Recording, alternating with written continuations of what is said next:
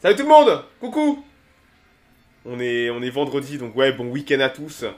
Bon, 4 ou 4, tu nous amènes ton sujet de la semaine dernière Voilà, c'est ça. Ouais, génial. En plus, ça m'intéresse parce que j'ai bossé dans ce coin-là. Et je me rappelle qu'il y avait un fermier qui m'avait dit euh, Oh, mais non, mais tout ça, c'est totalement artificiel. Je te disais, mais qu'est-ce qu'il me raconte, ce, vieux con-là? Et en fait, c'est c'est quand j'ai vu tes photos, j'ai compris Ah ouais, mais en fait, euh, il avait raison, l'espèce de, de vieux là. Euh, et donc, je suis très curieux de voir de, de quand ça date, ça, parce que. Parimat, merci pour le sub J'ai aucune idée de... Bah, enfin si, par rapport aux photos, j'ai un peu compris de peut-être pourquoi il l'avait fait, mais... Je suis curieux de voir de même euh, ce qu'il y avait avant, en fait. Parce que c'est... Bah, c'est totalement artificiel, le machin, de ce que j'ai... Si, j'ai bien compris. Oui, et en fait, ce qui est intéressant, c'est qu'on a plein de choses euh, traditionnelles dans l'imaginaire landais qui n'ont aucun sens maintenant avec la forêt et qui viennent d'avant cette forêt, tout simplement. Bon bah écoute, euh, fais patate, hein. explique-nous tout ça. Allons-y. Alors, je vous ai trouvé une très jolie carte. Ouais, elle est incroyable. Puis elle est. Décor autour. Et elle est détaillée, elle est en super bonne qualité. Svartman, merci pour le sub C'est classe, quoi. Ah, J'aime beaucoup, personnellement. Ah ouais, carrément. Ouais, donc aujourd'hui, on va partir dans les Landes de Gascogne. Alors, je, euh, je, parle de Landes de Gascogne et pas de Landes, parce que je vais pas parler évidemment du département, qui sont des frontières artificielles. Euh, Landes de Gascogne, c'est plus large que le département aujourd'hui appelé euh, les Landes, puisqu'on va aller. Euh, vous voyez bien que cette carte, on est, on est, on est quasiment au niveau du. On, on parle même d'Arcachon et du bassin d'Arcachon dans les textes, donc on remonte très haut. Et en bas, on va aller quasiment, quasiment au Pays Basque et dans les Pyrénées. Donc c'est plus large qu'aujourd'hui. Ah, je suis content, il y, a des, il y a des landais dans le, ouais. dans le chat. D'ailleurs, Svartman, t'as pas compris, Svartman, pour venir proposer un avion sur Warbird, c'est pas sur la minute archéologique. Faut venir le mardi soir quand il y a Warbird. pas de bol, faudra attendre le mois prochain. Je suis désolé. Ah, PPI méchant. Euh, Vas-y, continue, Kadruka. Ne, ne, pas de soucis, pas de soucis. Pardon. Donc, une petite minute aujourd'hui, ouais, on va, on va parler des Gascons. Euh, et on va parler surtout des Gascons avant la forêt des Landes, que vous avez, dont vous avez peut-être entendu parler aujourd'hui. Euh, donc quand on imagine les Landes, tout de suite on pense à cette euh, immense forêt de pins, qui en fait est tout à fait artificielle et qui n'existait pas il y a 150 ans. 150 ans quoi. Eh oui, oui parce qu'en fait notre forêt, notre forêt date de, de, du milieu du 19e siècle. Donc c'est quand même très très récent. Alors, eh, je, je sais que je devrais pas t'interrompre juste pour ça, mais euh, à chaque fois que j'entends le mot gascon, ça, me fait rigoler parce que les, Gascons avaient une réputation d'être des vieux farceurs euh, dans le royaume de France. Et il y avait Louis XV qui avait pété un plomb un jour et il, avait hurlé à, un de ses ministres Vos, gas, vos gasconnades doivent cesser sur le champ Parce que c'est l'équivalent des, blagues de l'époque, les gasconnades. Parce que voilà, les Gascons avaient une réputation d'être des les Gascons ont beaucoup de réputation. Après, les Gascons qui sont plus connus, pour le coup, euh, les, euh, les, Gascons dont je parle aujourd'hui sont pas forcément ceux qui sont connus euh, à la capitale, et notamment à la cour. Puis ceux qui sont connus à la cour, c'est plutôt ceux du Béarn. Notamment, c'est beaucoup les Béarnais avec les fameux mousquetaires mhm. du roi qui viennent du Béarn. Là aujourd'hui, on va aller. Non, non, non, il est de, il est pas, non, D'Artagnan, il est de. c'est un Gascon. Athos, c'est, ouais, Athos, Porthos et Aramis sont des Béarnais. D'accord. Mais on en parlera, on fera une mythe archéologique sur les, sur les ouais, mousquetaires. Très intéressant parce que putain, les, les, mythes ont, les mythes ont la peau dure aussi avec les mousquetaires. Voilà. Euh, Gaston Phébus, hein, qui, euh, qui donnera le, le, le, symbole du prince charmant, il est aussi béarnais. Mais voilà. Donc le béarnais est bien connu à la cour, il y a beaucoup beaucoup de réputation. Et là, on va s'intéresser un peu aux petits frères pauvres euh, de ces béarnais euh, courageux, puisque là, on va plutôt parler euh, d'un peuple d'attardés, c'est le terme utilisé dans la littérature. Hein. Euh, tout simplement parce qu'on s'inscrit euh, au 19e siècle dans un mouvement euh, d'homogénéisation du territoire. Et donc on va chercher à, changer les espaces ruraux français de façon méthodique, vraiment un truc fait par l'État. donc on va avoir des régions comme la Bretagne ou la Champagne pouilleuse qu'on considère comme arriérées, comme en retard de civilisation. Il va falloir amener la civilisation. Mais aujourd'hui je choisis les Landes parce que parmi ces régions, euh, peu d'entre elles ont donné naissance à autant de contre-vérités, d'idées reçues, de rumeurs que les Landes de Gascogne. Et on va carrément parler aujourd'hui dans la littérature scientifique, vous trouverez des la littérature scientifique qui parle de colonisation intérieure pour les Landes de Gascogne, pour vous dire à quel point on va parler aujourd'hui d'un travail d'État, de changement du territoire par l'État. Et je vais vous montrer un petit peu pourquoi on peut parler de, colonisation du territoire français par la France. Euh, pour vous donner une idée, les Landes, c'est pas du tout euh, le territoire qu'elles sont maintenant. Euh, Théophile Gautier parle de Sahara français, poudré de sable blanc d'où surgissent des herbes sèches et des flaques d'eau verte. En fait, c'est un territoire où le vent de l'océan va pousser les dunes de sable, et de notre côté, on va avoir des marais d'eau euh, créés par le sol. En fait, le sol, c'est un sol très ferrugineux, donc le, on a le- l'eau qui peut pas du tout s'infiltrer. Donc c'est très simple. En hiver, c'est des marais. En été, c'est du désert. Et ça, d'avoir ça en France, ça va pas du tout. Parce que c'est pas du tout civilisé. C'est un truc, enfin, c'est un territoire qu'on ne connaît pas. C'est un espèce de truc bizarre en France. Et c'est pas rentable non plus, je pense. euh. Bien sûr, bien sûr, on va y arriver. T'as jamais vu le sketch de Bourville avec euh, l'eau ferrugineuse? Alors non, ça me dit rien Oh, celui-là. putain, il faut. euh, Non, non. Les... Ceux qui connaissent recommandent l'eau ferrugineuse de Bourville, vous allez vous taper une barre de rire. Bah ouais, bah c'est ça, mais en fait, c'est- économiquement, c'est un, c'est un espace mort en fait. Un peu. Allô Oui, pardon. je suis en train de. Non, je regarde en même temps le chat pour les questions du, chat. Oui, alors euh, en effet, hein, l'Aquitaine, elle a longtemps été euh, sous domination des Anglais, mais c'est pas le territoire. Franchement, les Landes de Gascogne, c'est vraiment le territoire pauvre. Euh, on l'a, ça fait bien sur la carte, mais en vrai, on sait pas quoi en faire. Parce que, comme je vous dis, c'est des marais. Et vraiment, c'est pas exploitable, quoi. Alors en plus, jusqu'au milieu du 19e siècle, faut penser qu'il y a une, il y a en place, il y a la théorie des climats, qui suppose que le, il y a un rapport entre l'homme et son milieu. L'idée, c'est que le milieu va déterminer les maladies, mais aussi le physique des hommes et leur caractère. Et ça, c'est fondamental pour comprendre euh, comment on regarde les Landes. Les Landes, elles sont littorales. Les- On n'aime pas trop les littoraux, c'est un endroit de répulsif. En plus, c'est des marais. C'est en friche, c'est-à-dire qu'on l'exploite pas. Euh, et du coup, euh, on va percevoir les Landais, je cite, qui tiennent de l'aridité et de la sécheresse du climat qu'ils habitent. Des figures décharnées, un air de tristesse et de langueur annoncent des individus souffrants. Donc en fait, ils sont malades de leur euh, de leur territoire en fait. Il y a vraiment une association entre son territoire et euh, les gens qui y habitent. Mais on va voir que c'est pas si innocent que ça de traiter euh, nos Landais d'attardés. Et comme tu dis bien, en effet, il y a toujours une histoire de de sous derrière et de rentabilité. Et on va euh, on va y mettre euh, au 19e siècle des images euh, d'orientalisme qui est très à la vogue dans nos colonies, notamment africaines. Et on va servir de tout cet orientalisme et de cette image du sauvage pour l'incorporer au discours des Landes de Gascogne, qui sont un véritable désert où les habitants sont victimes d'un milieu ingrat. Alors, je te laisse mettre ces photos un peu plus tard. Ah, ok, d'accord. Je laisse remettre sur la 2 et la 3, où on peut vraiment voir ce- cette image de marée. Et on va voir une association euh, entre le désert, le sauvage, et on va traiter la population de nomades, parce qu'on va voir ces bergers qui traînent dans les marais, dans la lande. D'où le fait que ça s'appelle les landes, alors qu'aujourd'hui c'est une forêt, hein, mais à l'époque c'était véritablement un terrain, c'est vraiment une lande. Or, on sait que l'orientalisme va beaucoup participer à la domination des pays occidentaux sur l'Orient et va servir à justifier euh, la colonisation. Parce que bien sûr, si c'est des sauvages qui, sont victimes du désert et qu'il faut apporter la civilisation, ben on n'est pas des méchants, on est des gentils. Et c'est exactement ce qui va se passer dans les Landes. On va traiter euh, les Landais comme des, gens malades qu'il faut aller sauver et soigner en fait. On parle de mauvais pays. Un mauvais pays, c'est une contrée qui est impropre à produire des denrées agricoles. C'est un milieu dont les conditions naturelles sont hostiles à l'homme.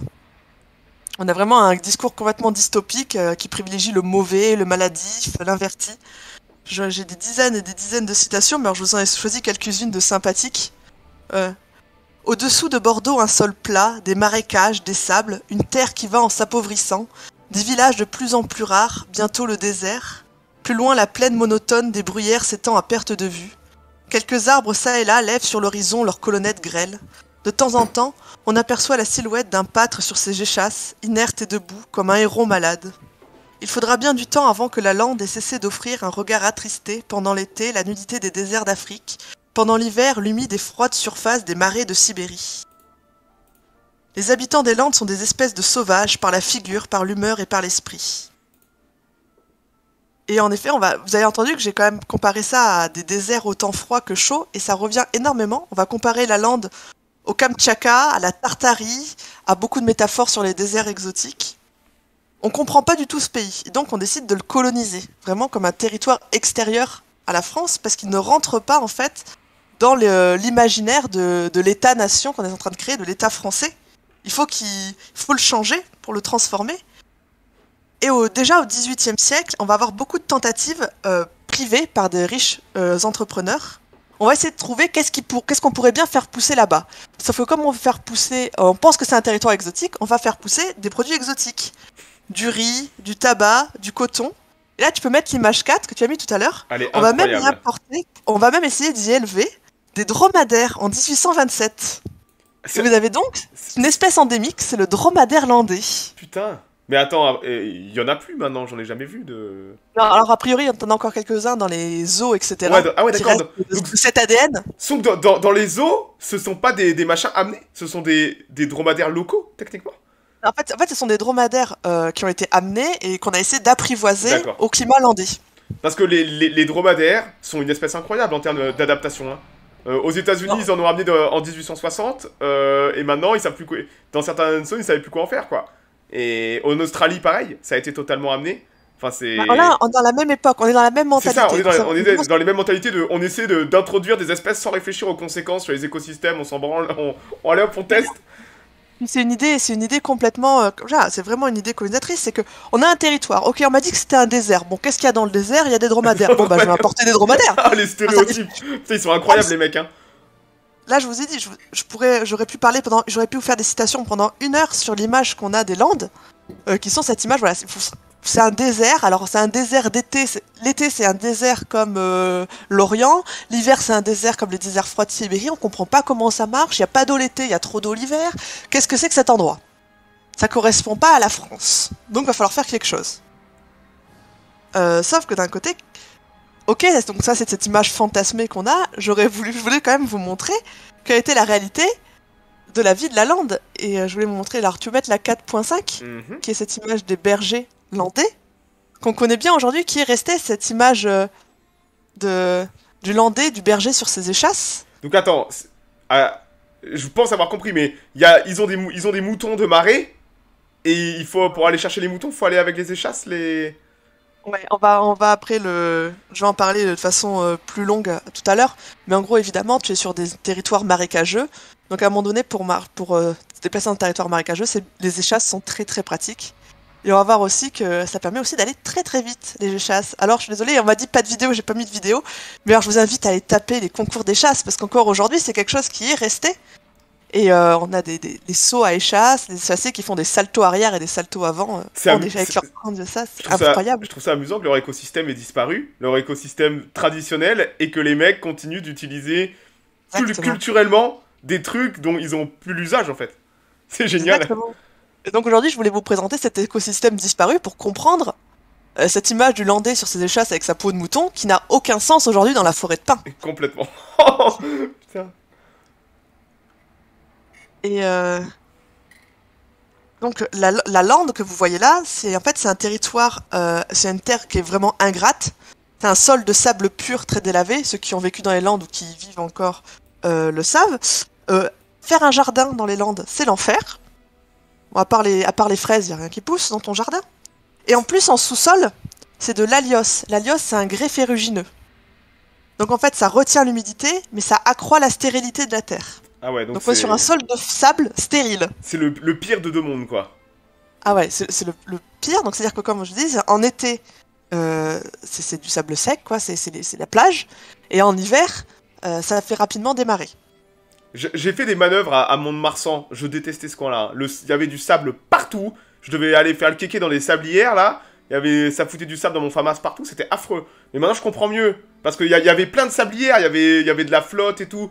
Mais je comprends mieux pourquoi ce, coin, ouais, ce coin merdique là, il y avait de l'eau et du sable en fait. Alors, du coup, en tant que d'aquois, je te le dis tout de suite, tu peux critiquer Mont-de-Marsan tant que tu veux. En tant que d'aquois, je suis obligé de critiquer Mont-de-Marsan. Ça fait partie du jeu.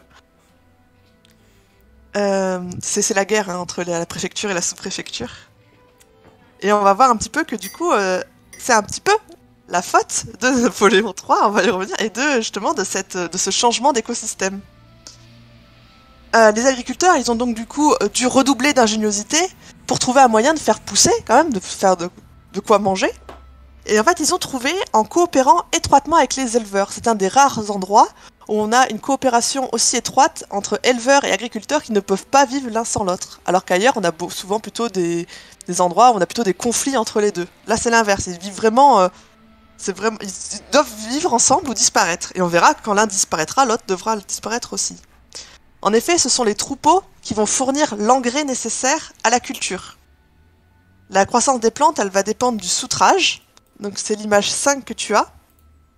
Euh, le soutrage, c'est un mélange de déjections animales accumulées dans les étables et, des fougères qu'on va ramasser aux abords de l'aérial. L'aérial, c'est la clairière dégagée où on va planter mettre ses bâtiments et les, zones de culture. Ça se fait encore, euh, ça se fait encore aujourd'hui hein, dans beaucoup de fermes. Vous, euh, vous préservez pendant l'hiver euh, toute la merde accumulée et vous, vous stockez ça bien précieusement. Comme ça, après, au, printemps, vous pouvez l'utiliser. Ça permet de pas avoir à, quand vous avez des, petites surfaces, de pas avoir à utiliser des, des engrais industriels, entre autres, en très très grande quantité. Donc ouais, c'est très commun dans les petites exploitations. Et encore là, aujourd'hui, dans le monde agricole, c'est très commun de garder ces bois qui vont border votre exploitation. Elles sont très très importantes en termes d'écosystème pour les bêtes, pour les plantes que ça amène. C'est très important de garder un peu de bois autour de. C'est pour ça que les champs sont souvent encadrés par même des fines bandes de bois. Là, ce bois est très important parce que c'est vraiment c'est la fougère qui va amener cette économie, qu'on va mélanger avec euh, les déjections animales. On va les faire macérer et ça va donner un aliment pour la terre auquel on va ajouter ensuite le fumier qu'on récolte après le passage des troupeaux. Donc on a vraiment une double utilisation du fumier. Donc là, vous voyez vraiment le cet tas euh, macération qu'on va utiliser pour, euh, tout simplement pour, pour, les, pour, les plantations. Sauf que euh, cette double exploitation du fumier, elle va avoir un prix, et notamment en termes d'espace. Et je te mets un petit graphique en 6. Mhm. Euh, pour nourrir une famille de 10 personnes, donc, ce qui est commun à l'époque à une famille de 10 personnes, on a besoin de 4 hectares de culture, donc du fumier de 100 brebis, donc de 100 hectares de landes. Ouais. Donc il faut, les, il faut les, maths, ouais, les maths sont faciles après quand tu commences à compter de voir. Euh... Vous savez, pour une famille, il faut 104 hectares de terre pour avoir du pain. Donc c'est clairement pas rentable. Donc forcément, ça va déplaire à, à, tous nos bourgeois et entrepreneurs euh, de l'État. Mais c'est comme ça qu'arrivent à survivre et qui survivent très bien nos petits landais. Euh, évidemment, si on a besoin d'autant d'hectares, euh, on va avoir euh, pas question de perdre de l'espace et donc de pratiquer la jachère, comme ça se fait beaucoup. Ici, on va utiliser la culture sur billon. Donc, je te laisse mettre la 6.5. Mhm. magnifique. Ouais. Qui est la récolte du maïs. On voit des petits, je crois que c'est avec des petits plants de maïs. Ouais, c'est ça, les plants de maïs. Et vous voyez bien ici les billons. Les billons, en fait, vous en avez certainement déjà vu. Cette culture avec euh, des. Quand vous passez le, billon, tout simplement, ça vous fait des. Quand on erre, ça fait des billons, donc c'est les bosses, et les sillons qui sont les creux boss creux, boss creux, boss creux. Surtout, vous me dites si c'est pas clair. Ça va être très important parce que au mois d'octobre, on va semer le seigle sur le billon, donc en haut du sillon. Euh, le seigle ou blatte, c'est la principale production de la lande sableuse parce qu'elle s'adapte bien à, cette terre sableuse et en plus elle sert à fabriquer le pain, donc c'est vraiment la base de l'alimentation. On laisse passer l'hiver et pour pas perdre de terrain, on va prendre une autre plante, alors soit du, du millet, une autre céréale qui va servir à faire les cruchades qui remplacent le pain, soit du maïs à partir du XVIIIe siècle, ou blé d'Inde, hein, pour ceux qui connaissent le terme d'origine, euh, qui va attirer beaucoup de convoitises avec son rendement important. Et cette deuxième plantation, on va la, va la planter dans le creux du sillon. Et donc cette deuxième plantation, elle va pousser à l'abri de la première. Ce qui fait qu'on a vraiment zéro perte d'espace.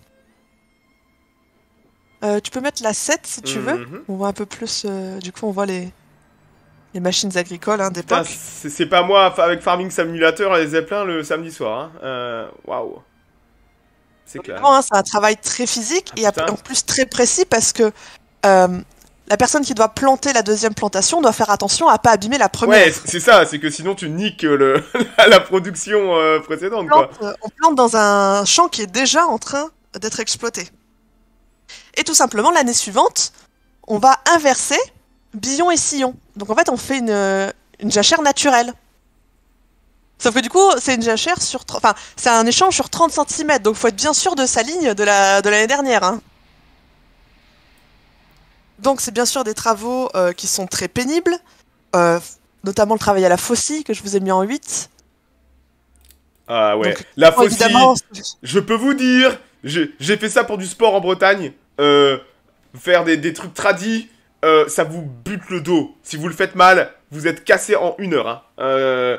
Genre, Et là en plus, on est en mois de juin, au mois de mai-juin, mai-juin dans les Landes. oh le cagnard que ça doit être. Oh. ça tape. voilà, on est dans le sud, ça tape bien, c'est fatigant. Euh, la seule chose qui motive, c'est qu'on est bon là sur la photo, ils sont bien tous pour poser, pour être dans le. Ouais ouais, En ça prend la pause. Hein. En vrai, on travaille en rang, et donc bien sûr, le but, question d'honneur, c'est d'arriver le premier. Ouais, ça... Parce que on va commencer à parler de du Gascon, et le Gascon est un être très fier. Hein, qui viennent des Pyrénées ou de la Lande. ça picole quoi Euh. ça, ça picole de la bière ou du vin euh, dans ce coin Alors on va y venir, mais ça picole du vin beaucoup. Beaucoup de vin, ouais. Ouais, on va y venir. Des, des cultures qui sont disparues aujourd'hui. Encore une fois à cause de la forêt. Euh, mais c'est un être. euh, le Gascon est un être euh, qui, a, qui a beaucoup de fierté et qui n'aime pas les interdits. Attends, je vais, je vais ban Skyrose 10 minutes du chat. il, il- il raconte des conneries et il insulte la Bretagne, donc je vais le, je vais le time out. Voilà, et hop, Skyros, voilà. Tu reviendras dans 10 minutes quand hein, tu seras calmé un peu là. Voilà, vas-y, continue, pardon. Euh, Qu'est-ce que tu veux dire, Al- Alpha, par rapport à c'est sur combien à l'échelle des vendanges? Je comprends pas la question. Non mais, non, eh, ne, ne- lis pas Ouais, trop le chat, hein, il raconte que Ouais, des ouais, conneries. hein. Euh, donc en effet, c'est l'image que je t'ai mis en neuf. On Mhm. tu as aussi également de la vigne. Ah ouais Euh, on, on la cultive autant en chalosse, alors la chalosse c'est l'intérieur des terres, euh, que sur le littoral. Oh mais c'est incroyable, euh, parce qu'on on, on voit que le sol est sableux devant là. Voilà. C'est ça Et là, serait une espèce de dune, une espèce de, de, de, de la vigne de dune, ça serait? Exactement. Et en fait, en chalosse, encore, ça, ça existe encore, on a encore des vignes. Par contre, celles qui ont disparu, ce sont celles près de la côte, qui sont notamment à Cap-Breton. Et Cap-Breton, pour ceux qui connaissent, c'est une plage. Hein. C'est une, c'est- on est au là, on est au bord de la mer. Et c'est une exploitation qui se fait sur les dunes. Incroyable, Au bord de. Putain, mer. mais c'est marqué, ouais, Cap Breton, une vigne sur les dunes. Putain, elles sont magnifiques les photos. Hein. Cap-Breton, Cap-Breton, aujourd'hui, c'est la plage. Hein. C'est vraiment une ville côtière. Et t'en as aussi à Vieux-Boucau, si- oui, à Vieux-Boucau également, qui est aussi une ville côtière, qui est l'embouchure à l'époque de qui, s'est- qui se déplace. Et euh, ça a disparu entre 1900 et 1914. Et on a complètement oublié, mais ça donnait un, un très bon vin, puisque les raisins étaient en fait euh, grillés par le- la réverbération du soleil sur le sable, et ça donnait un vin très sucré. Mmh, nice. Et on- certainement, faudrait essayer d'aller voir dans les vins, euh, peut-être euh, peut-être du Maghreb ou du Levant, pour essayer de retrouver un petit peu, mais ça devait avoir un arôme très particulier en fait. Très différent du Bordeaux, qui pousse pas beaucoup plus haut finalement.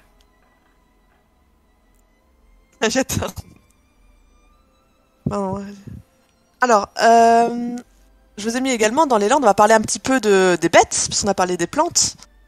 Et euh, l'animal emblématique que je voulais vous présenter en premier.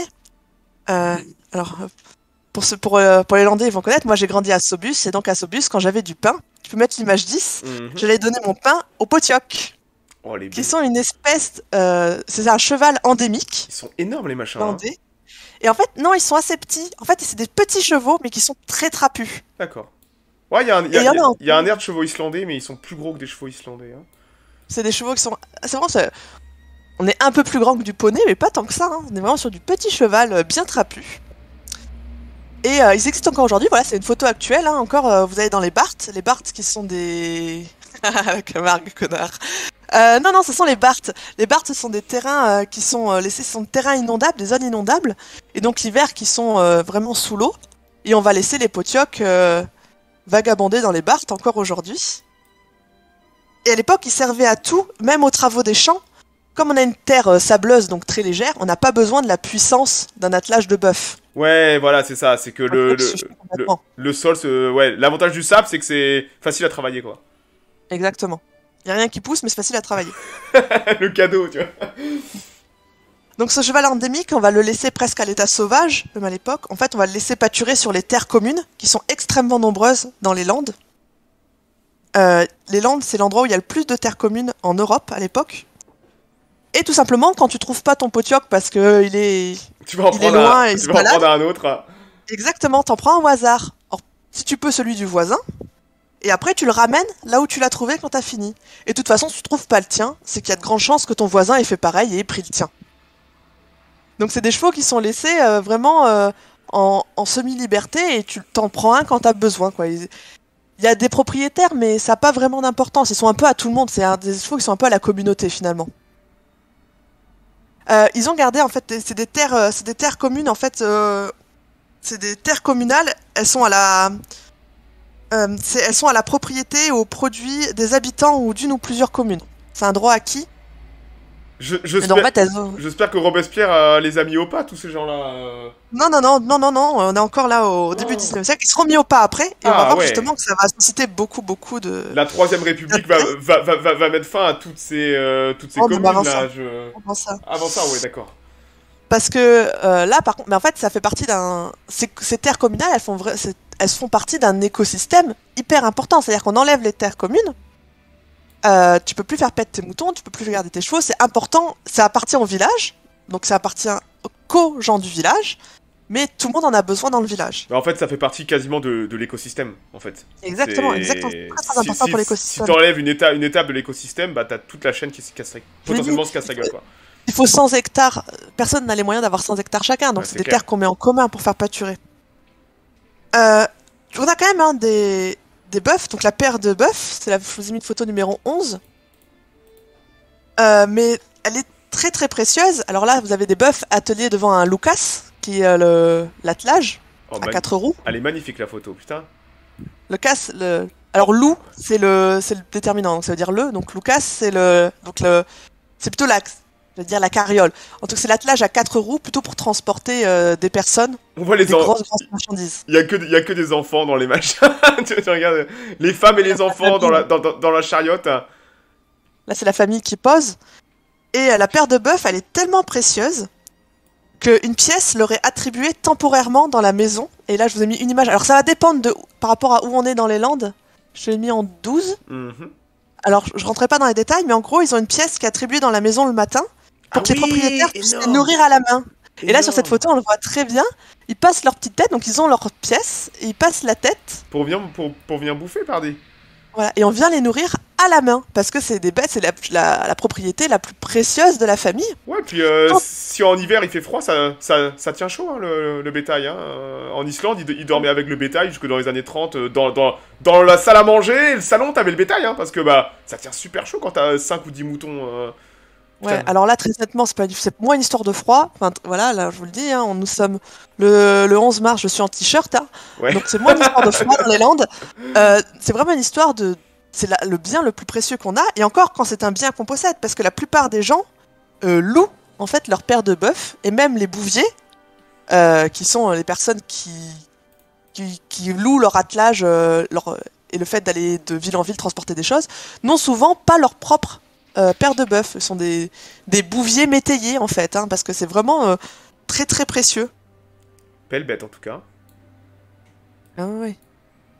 Mais euh, tout le monde n'a pas. euh, voilà, très rares sont les personnes qui ont les moyens de se payer une paire de bœufs. Donc c'est vraiment le, le potioc et plus tard la mule, on va voir, qui ont.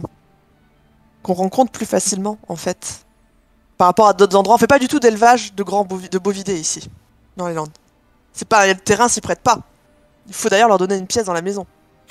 Ça me paye quand même d'avoir les, les deux machins qui sortent la tête dans le salon, tu vois. Et on va aller un petit peu sur notre figure emblématique des Landes, avec l'image 13, qui est notre image du, ber- du berger. Oh la classe. Allez, eh. Bon, il y a un peu de stéréotype là, mais c'est incroyable. D'ailleurs, ils, ont des bœufs derrière. Ils on voit que c'est les mêmes cornes, la même espèce. Ils sont vachement petits, quand même, non Les. les Alors bœufs, le landais. Ah le bœuf, je croyais que tu parlais de landais, parce que le landais est connu pour pas être grand. Non, hein. mais justement, c'est ce que je pense. C'est que déjà, que là- on voit les Landais sont pas bien grands, mais si tu regardes les, les bœufs à côté, ils sont, pas, ils sont encore plus petits, quoi. C'est pas des, euh, des, des bœufs modernes, on va dire ça comme ça. Non, après là, je sais pas exactement la photo, hein, parce que c'est laquelle elle vachait, mais euh, déjà c'est des veaux au premier plan, ouais, c'est pense, sûr. carrément. Ouais, je- À droite, Mais on oui, voit là. les adultes, regarde. On est sur une terre de, de rugby, hein, le landais est, est à peu près aussi haut que large, hein, ça, c'est c'est des têtes, c'est des rugbyman, hein, c'est trapu. Euh, imaginez ces premiers voyageurs qui sont des pèlerins, qui découvrent euh, au XVIIe et XVIIIe ce Far West de la France, on peut vraiment l'appeler comme ça. Euh, ce berger, c'est un être étrange, mi-homme, mi-bête. Euh, Je citer encore une jolie citation. Un personnage taciturne, méfiant et demi-sauvage, l'œil torve, le teint blafard, les membres grêles et dont l'aspect épouvantait l'étranger.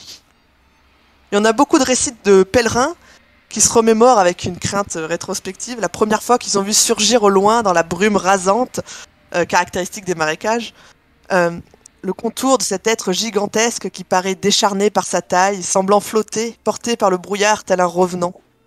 Et en effet, on imagine que de loin dans le brouillard, euh, il paraît très élancé et très émacié avec, euh, avec ses grandes échasses et sa grosse peau de mouton sur les épaules. Je pense qu'il y a de quoi avoir peur hein, dans la brume du matin. Ah ouais, ça doit. Avec les échasses, ça se dit, mais qu'est- qu'est-ce que tu fais? Ah bon? Truc fait 2 mètres de. Mais en effet, ça a, part- ça a énormément participé au mythe landais, ce- ce- cette image du berger perché sur ses échasses. Ça a vraiment participé à, à ce ça. C'est vraiment devenu un symbole de la- des landes d'autrefois.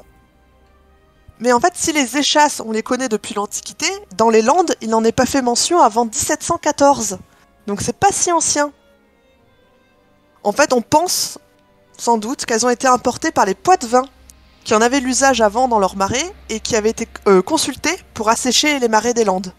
Et ils ont amené leur savoir-faire euh, avec eux. euh, Leur savoir-vivre dans le des marais. leur logistique, on va dire ça comme ça. C'est exactement ça. Et alors, une échasse, la hauteur minimale c'est 75 cm, mais en général elles font autour du mètre. Hein. Elles sont fabriquées dans un bois léger, généralement du pin ou du peuplier. Et en haut on a le péchic qui est un soulier en corne de bovidé ou au pire en bois dur, comme le chêne. L'intérêt c'est que du haut de ces échasses, le berger il peut surveiller son troupeau. Là vous voyez, hein, les échasses elles sont vraiment euh, enfoncées dans le marais. Donc il Ah, dépasse plus tant que ça. hein, a enfoncé il, ses est en- échasses. il- il est enfoncé là en fait. Je dis, mais elles sont petites ces échasses. Mais en fait, il est, il est dans le marécage là, vu qu'il est avec ses bêtes. Ouais. Là, tu vois l'intérêt du truc. C'est que tu peux surveiller ton troupeau, t'es pas enfoncé dans le marais. En plus, ton troupeau, c'est entre 150 et enfin 100 150 têtes. Tu fais attention. Et ça lui permet euh, d'avancer très vite. Je cite, on dit qu'il va comme un cheval au trot. D'accord. Si le besoin s'en fait sentir. Si vous avez déjà vu des courses des chassiers, t'es extrêmement rapide. Donc là, c'est en fait, ça lui permet, comme la lande, il n'y a pas beaucoup de nourriture, c'est des troupeaux qui se déplacent énormément. Ah, en raquette dans les marais, euh, je te le conseille pas. hein. Euh, ah, ah, Non, non, les échasses, pour le coup, c'est parfaitement fait pour ça. Ça te permet d'avoir de l'équilibre, ça te permet de te déplacer très vite parce qu'on est sur des troupeaux qui font des kilomètres et des kilomètres par jour parce qu'il n'y a pas beaucoup à manger.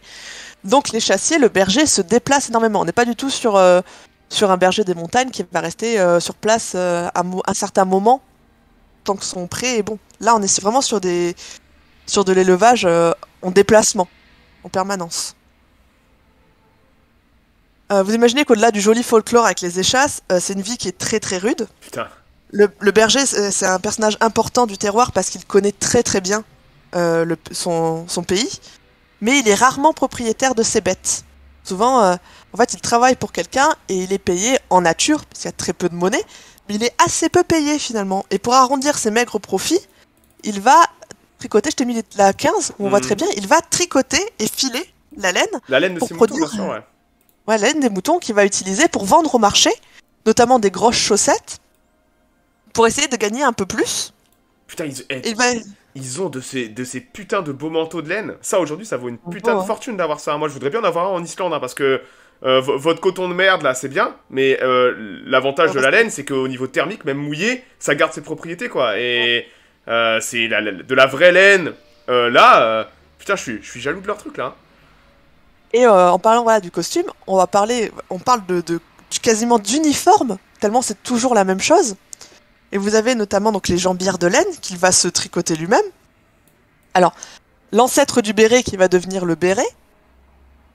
Et euh, ce grand euh, manteau qui est en fait une peau de mouton. Hein. C'est pas un manteau en laine, c'est vraiment Ah, une peau. Ah, c'est une peau, d'accord. C'est une peau et c'est très intéressant parce que le fait de la mettre dans ce sens-là, le berger, qui ne peut pas rentrer quand il fait moche, en se mettant dos au vent, ça va ruisseler et il ne va pas, il va pouvoir rester des heures sous la pluie sans être mouillé. Ouais. Et donc en fait c'est vraiment un isolant, à la fois thermique et euh, contre l'humidité de l'hiver quand il pleut. Enfin, c'est vraiment très très bien pensé et donc oui c'est la, c'est devenu euh, partie du folklore. euh, tout bon échassier, même encore aujourd'hui, doit porter son, Sa peau de mouton. peau de mouton. Alors en général, ils ont plus des courtes, comme vous voyez à droite, que la grande longue. Mais la grande longue, c'est c'est très très beau. Très très lourd, mais très très beau. Tu sais que c'est amusant parce que tu me fais penser à. J'ai vu une. j'ai vu une photo de mec dans les tranchées, et il y en a un qui a justement cette, une, un énorme truc identique au mec à gauche là. Vraiment, je déconne pas. C'est copier-coller, Ah mais bah, sauf qu'il a, un- il a un cascadrilla sur la tête. Et ça fait Ça vraiment, ça fait vraiment berger landais euh, à Verdun, tu vois. Ah oui, mais c'est- certainement, hein, c'est possible, hein, ils sont partis. hein. Donc, euh, ça m'étonnerait pas qu'il ait emmené euh, avec lui. Hein.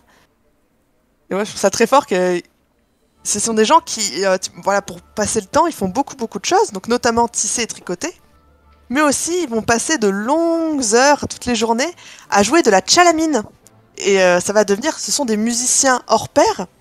Et du coup, pour les noces, les balles, on va appeler en priorité les bergers, qui sont réputés comme les meilleurs euh, musiciens du pays. Va surtout les appeler notamment pour la, pour la Noël.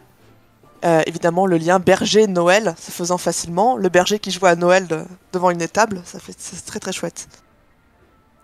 Euh, encore une fois, désolé pour le son, hein, je vous invite à aller écouter des chants euh, gascons, vous en trouvez plein sur YouTube, etc. Euh, allez écouter Nadao par exemple, vous allez écouter, entendre la chalamine landaise, qui, qui est... C'est quoi Vous c'est- avez des C'est c'est- c'est une flûte? C'est de. Ouais, c'est ah ouais. assez- ouais, Vous avez- c'est- en fait, vous avez de la flûte, vous avez une, une cornemuse landaise aussi qui fait un très très bon son. Mmh, On est dans ces sons-là. C'est très très beau. Je vous invite à écouter Nadao, alors je vous l'écris dans le chat, hein. Hop, ça vous qui est un groupe gascon. Faut aller écouter, qui est magnifique. Et euh, d'autres, après, en plus, donc je vous l'ai dit, c'est des gens qui parcourent les Landes pendant des semaines et des semaines en bougeant énormément.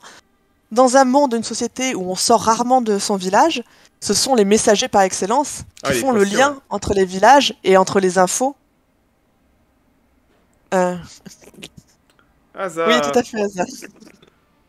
Bah, c'est un peu les anciens zadistes, quoi. hein, euh, Ils tricotent, ils jouent de la flûte, Ouais. ils ont des peaux de mouton. Mais ouais. Bon. En fait, c'est un- un- une vie très très euh, solitaire, la vie de berger, parce que vous êtes tout Berger, seul mais- pendant des semaines. Ça. hein. Quand vous croisez, vous croisez un autre berger, bah, vous restez une heure à discuter, et puis chacun repart dans le sens inverse sur ses échasses. Et donc, dès qu'ils peuvent, ils vont faire des petites réunions, des groupes où ils vont jouer ensemble, euh, des petites fêtes de berger. Mais sinon, c'est quand même un- une vie très très solitaire. D'où le fait que ce soit des très bons musiciens. C'est qu'ils font ça tout seuls euh, toute la journée, en fait.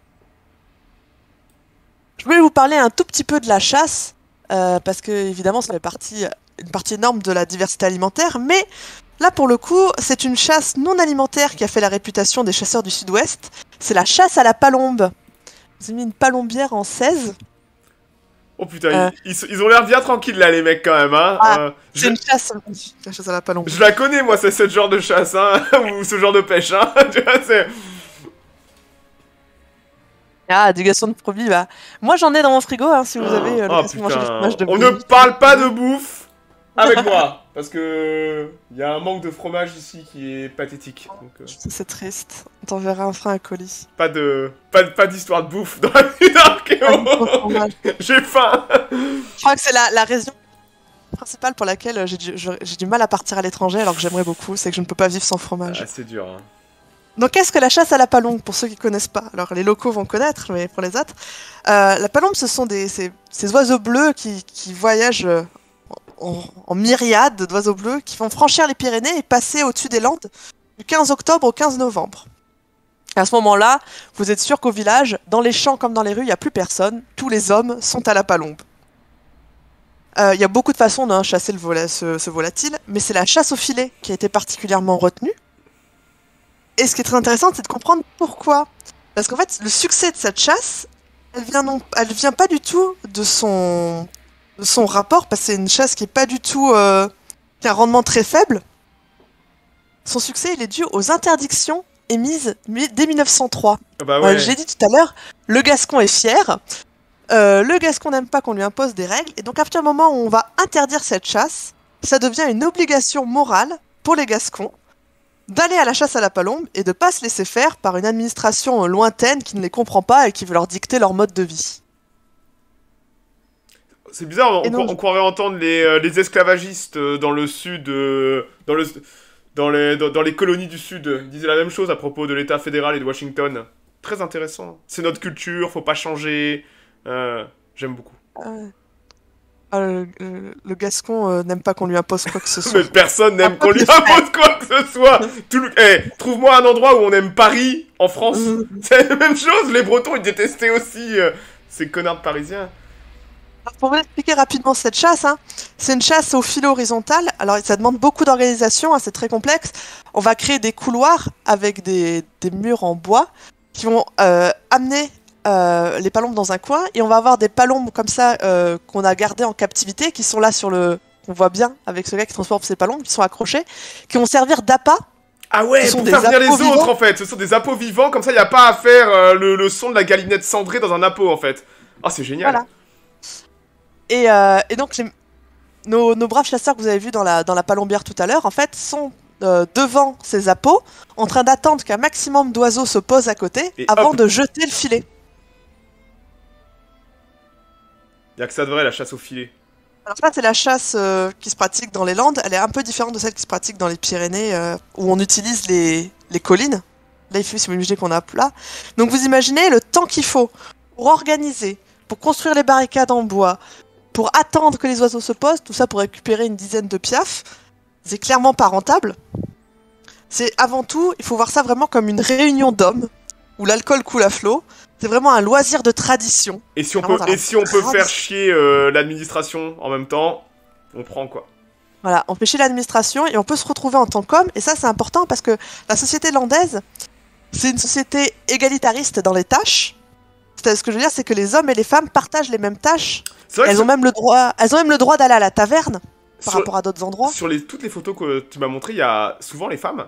euh, les femmes qui sont présentes avec les hommes à la, la- à la labour et tout ça, euh, et au travail Donc des les, champs. les femmes sont présentes dans tous les temps de la vie, à la maison, au champ, à la taverne quand il faut aller boire un coup. Donc en fait, la chasse à la palombe, c'est le mois où on peut avoir une parenthèse euh, entre hommes, où on peut dire des choses euh, qu'on peut pas dire devant la daoun. La daoun, c'est la, c'est la matriarche, si vous voulez, c'est la, la, mère de famille. Et donc là, on se retrouve euh, entre mecs et on peut enfin parler de ce sujet euh, entre mecs sans faire attention. Faut vraiment voir ça comme ça. Euh, Je vais revenir un petit peu avec la 18 sur ces terres communales dont on a parlé plus tôt. Donc vous avez compris maintenant, j'espère que vous avez compris maintenant son importance entre euh, zone de pâturage, euh, euh, pour récolter le fumier, zone de chasse également. Ces terres communales, elles sont donc... Ouais, la daoun, c'est la daronne, tout à fait. Bon, je sais pas si ça vient du même... euh, Mais c'est l'idée. Alors vous avez, compris, voilà, c'est des terres qui sont hyper importantes dans cet écosystème. Euh, mais évidemment, euh, ça ne plaît pas trop euh, à ceux, à nos entrepreneurs qui parlent, qui cherchent le progrès, évidemment, qui est un terme très important à l'époque. Surtout que je vous l'ai dit, les Landes de Gascogne, c'est la plus grande étendue de communaux de France. Euh, ça ne plaît pas trop que tout le monde ait un libre accès et usage de terres qui devraient appartenir à des propriétaires privés. C'est une vision très, premier- c'est une vision très archaïque euh, du monde moderne au 18, au, au 19e, euh, ce, genre de vision. hein. Exactement, exactement, ça va pas du tout. On est, c'est ça, C'est on est encore dans cette image d'où je vous ai présenté avant la, euh, cette image du, ça participe à cette image du sauvage qui sait pas utiliser ses terres, qui sait pas les mettre en valeur. Et ça, ça va beaucoup servir, notamment aux gens qui vont suivre Isarne de Freycinet, qui va écrire en 1837. La trop grande étendue des biens communaux est un obstacle puissant à tout progrès, car la nourriture d'un mouton y occupe plus d'un terrain qu'il n'en faudrait pour nourrir une famille. On commence à comprendre qu'à nos portes un territoire vierge encore peut devenir le but de magnifiques entreprises, et les Hmm. spéculateurs rassurés vont confier leur argent à ces plaines mieux connues et mieux appréciées. Oh la vache. C'est, c'est une belle façon de dire euh, on, on- on va terraformer le merdier pour faire des thunes. Là, on n'est pas dans un discours de colonisation euh, complètement qui, se, qui est le même ailleurs euh, dans le monde.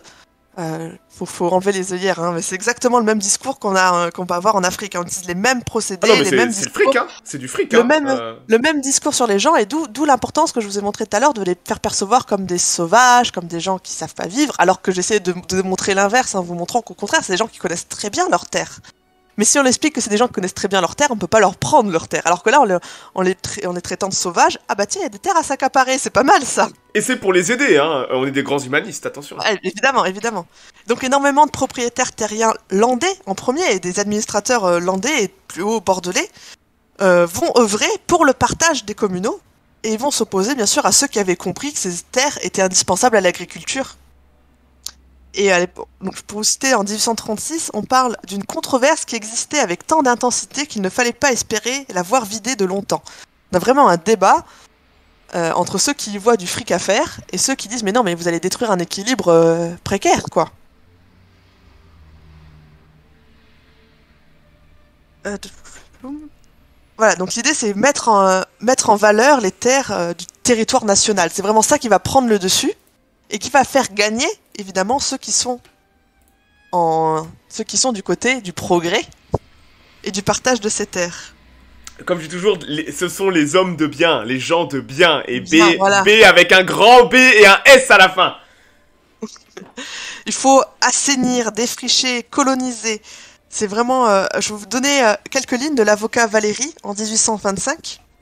Si on voulait s'apercevoir le triste et hideux spectacle d'une longue suite de terres nues, sans population, sans abri, ni contre la rigueur des hivers, ni contre l'ardeur des étés, si dans ces vastes solitudes ne résident çà et là que quelques habitants d'une intelligence tellement bornée qu'ils ne diffèrent des animaux que par la forme, si l'on vous assure que ces hommes sans droit, sans devoir, sans temple, sans culte, ignorant même le nom de leur souverain, existent, non à mille lieues du monde civilisé, mais au sein même de la France, près de tous les arts, de toutes les sciences, de tous les perfectionnements, ne verrez-vous pas là une des plus effrayantes contradictions dont puisse gémir l'humanité? Et ne provoquerez-vous pas un changement qui promette au trésor un accroissement de revenus considérable, à la nation un accroissement de force? D'ailleurs, ce changement est commandé pour des raisons politiques et morales du plus haut intérêt. Voilà, vous avez tout dans le discours. Ah, c'est beau. C'est beau, c'est beau, c'est toute l'hypocrisie de l'époque, j'adore.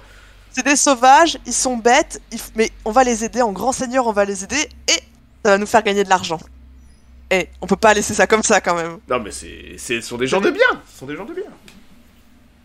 Et non, bien sûr, ces gens vont gagner. Je, je, sens, je, sens ton mépris dans la voix. Euh, c'est des, gens de bien, des gens de bien. Ah oui, tout à fait, tout à fait. Ah ouais, mais non, c'est parce que j'ai énormément. Là, j'ai choisi quelques citations. Hein. Je vous ai pas les citations, on parle d'attardés, quand même, des hommes qui ne diffèrent des animaux que par la forme. c'est vraiment gentil pour les Gascons, quoi. Et donc évidemment, ils vont gagner et euh, un boisement systématique sera imposé par la loi de 1857, qu'on va détailler un peu ensemble. Mais donc on est, je pense qu'on a pu se mettre d'accord que quelle que soit la définition qu'on donne à la colonisation, euh, c'est bien un mot adapté et on va parler pour les Landes de Gascogne de colonisation intérieure qui va se faire, comme en Afrique, du littoral jusque dans les terres. Et on va introduire une population pour exploiter le sol. C'est vraiment bien la définition. Alors, j'ai mis l'image du 19, je vous ai mis un très beau portrait de Napoléon III. Classe. J'ai notre grand instigateur de ce changement. Chad, Napoléon III. Et donc c'est la loi du 19 juin 1857, dite la loi relative à l'assainissement et de mise en culture des Landes de Gascogne. Vous voyez, hein, on parle pas, on parle d'assainissement, de mise en culture. Elle va rendre obligatoire la plantation du pain. C'est vraiment une, une colonisation intérieure qui est menée donc depuis Paris. C'est vraiment pas une initiative locale, on l'a bien compris. Donc elle avait imposé aux communes landaises le drainage et l'assainissement des communaux de ces terres communales pour organiser leur cession à des propriétaires privés, à charge pour ces derniers de les ensemencer de bois. C'est ce qui va être le début de la disparition de cette euh, société agro-pastorale traditionnelle que je vous ai présentée. Euh, Napoléon III, en digne héritier de son oncle, il voulait faire des Landes, je cite, un jardin pour sa vieille garde. Terme repris à Napoléon, à Bonaparte. Il va donc acheter 7000 hectares de terre sur ses deniers personnels, il va fonder le domaine impérial de Solferino, du nom de la bataille qu'il vient de remporter. Hmm. Et euh, donc ce village, il est créé par Napoléon, il voit le jour en 1863. C'est vraiment une réalisation en miniature des pensées progressistes de Napoléon III et plus largement de ce milieu du 19e siècle. On a vraiment une inspiration de la révolution industrielle anglaise qu'on veut euh, mettre en France. Donc là, ce sont les maisons qu'il fait construire, qu'il appelle d'ailleurs des cottages, et non pas des maisons, qui n'ont rien à voir avec les maisons traditionnelles landaises. La maison traditionnelle landaise n'a certainement pas d'étage. Euh, elle est beaucoup plus basse pour euh, s'armer au vent et aux intempéries et à la chaleur. Donc là, on est vraiment sur une, euh, quelque chose qui n'est pas du tout traditionnel, qui va amener. Donc c'est une maison que l'on que considère comme moderne et qui évoque le progrès. Et d'ailleurs, on fait venir dans ce village non pas des Landais, mais de nouvelles personnes. Et beaucoup sont des retraités de, de l'armée napoléonienne qui vont venir. euh, ils doivent travailler une soixantaine de jours par an et en échange, ils ont des terres à cultiver, une maison, un nouveau départ. C'est beau, les, les, les... c'est comme les vétérans de l'armée romaine à qui on donne un lopin de terre, tu vois. Genre, regardez, on vous file ça. Hop. Exactement. Oui, c'est la maison en Louisiane, Non exactement. mais, non mais c'est ce que je pensais. hein. C'est la même idée, hein. C'est la, même idée, hein. c'est le même style euh, de planteur. Hein. Euh, c'est- moi, je- moi je trouve pas ça moche du tout, hein. Mais bon, c'est pas très local quoi. Ah non, pas du tout. Je vais au village et je vous ai mis, un- j'ai mis en image 21 et 22 euh, l'église qui va faire construire, l'église Génie. Hop là. Belle église d'ailleurs, elle a de la, elle a de la gueule. Donc euh, évidemment pas du tout euh, local non plus. Mais ce qui m'intéressait, c'était la rosace que Ouais, vous avez, elle est euh, magnifique. que vous avez donc là en haut au niveau du chevet, qui est euh, euh, Je vais mettre les deux superposés. Ouais. Et cette rosace, elle représente en fait les différentes cultures Ah, que l'on va mettre en place au village de Solferino. Ah ouais. Vous avez, je pars d'en haut à gauche et je vais tourner dans le sens des aiguilles d'une montre, euh, la pomme de pin, euh, le seigle, le tournesol, la vigne. Euh, après, je sais plus, que tu bouges l'image en même temps. Pas du maïs?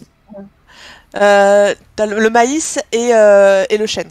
Ah oui, on, est, on voit les, les glands, ouais. Et donc on est vraiment sur voilà cette idée encore du, village de, de Colomb. On va pas du tout faire travailler les locaux, puisque de toute façon les locaux c'est des attardés, ils savent pas faire, euh, ils sont couillons. Donc on va amener des gens et on va mettre en, valeur nous-mêmes ce territoire avec, le, bois et la forêt. Cette expérience, elle va s'arrêter en 1870 avec la chute du Second Empire évidemment. Mais c'est quand même un, un bel exemple euh, à l'échelle euh, à l'échelle euh, impériale de ce qui va être fait à des échelles plus petites dans toutes les landes en fait. Je voulais quand même présenter le principal opposant à Napoléon euh, dans les Landes qui est Félix Arnaudin. C'est l'image numéro 23, je t'ai Mhm. mis son portrait, c'est un autoportrait même. Ah qui est un bourgeois local Putain, bon peintre, hein. et qu'on considère aujourd'hui comme un ethnographe. Euh, pas tout simplement parce que il a, c'est quelqu'un qui a perçu que son territoire, euh, sa- sa- ses traditions, l'endroit où il est né allaient disparaître. Alors que lui, c'est vraiment un fils de bourgeois, donc sa famille était complètement pour le plantations. Il s'est vraiment euh, mis à dos euh, euh, tous les gens avec qui il a grandi finalement. Et il a passé sa vie à arpenter les landes pour prendre des photos. J'en ai mis deux, la 24 et la 25. Et il a passé son temps à, répertorier toutes ces anciennes traditions et tout ce changement qu'il voyait se dérouler devant ses yeux. Sauf que les gens n'ont pas. Aujourd'hui, les gens, les Landais sont très très reconnaissants envers son travail, mais à l'époque, personne ne comprenait ce que faisait ce gars qui se badait avec un appareil photo dans les Landes euh, pour prendre des photos des paysages. On va être frais d'intérêt.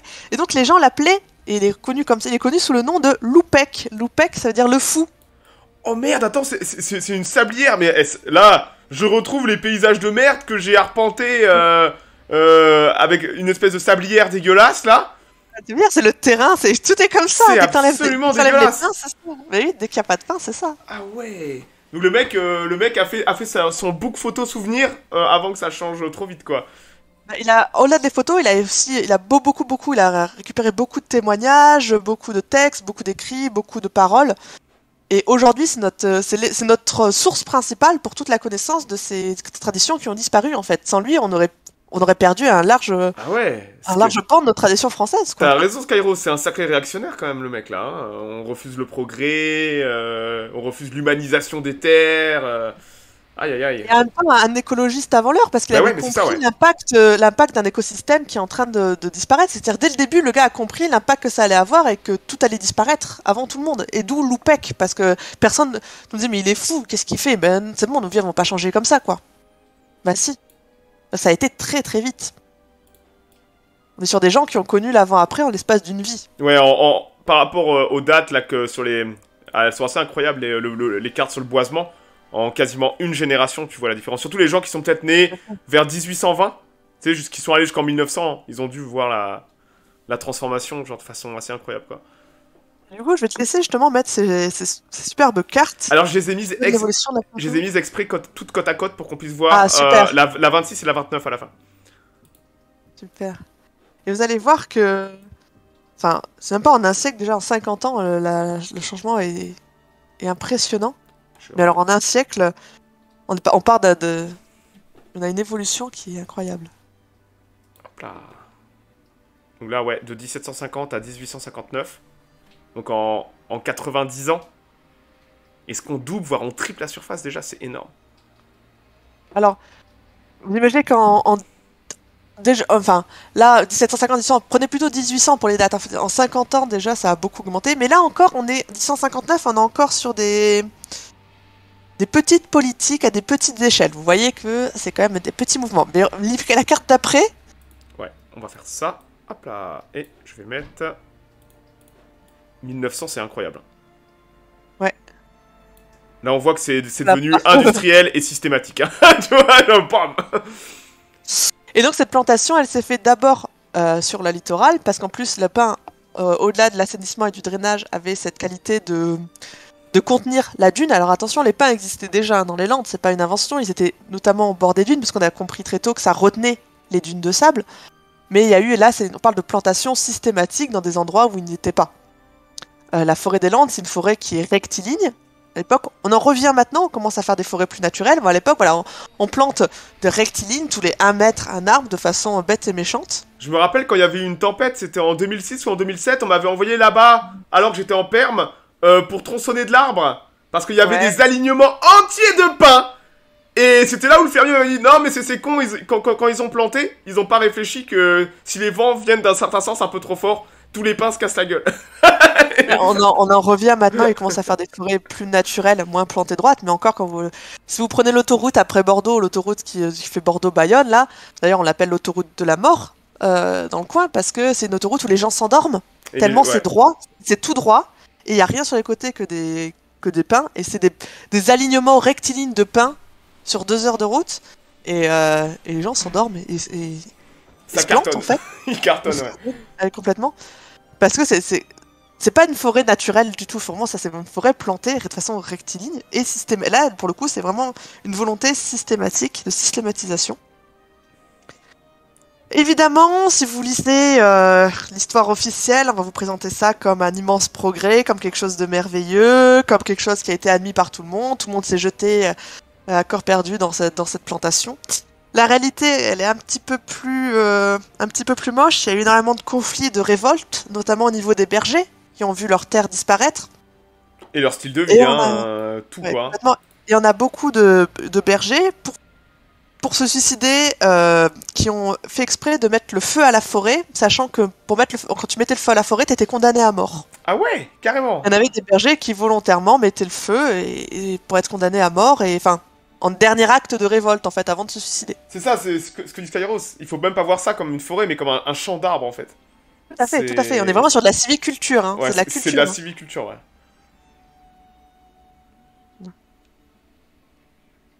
Parce Euh. qu'on on, on se rend compte que c'est mal branlé, parce qu'à la première tempête, tout, tout se casse la gueule, parce que ça n'a pas été fait pour. Si les pins poussent pas à un endroit, c'est aussi qu'il y, a- qu'il y a une raison pour ça, quoi.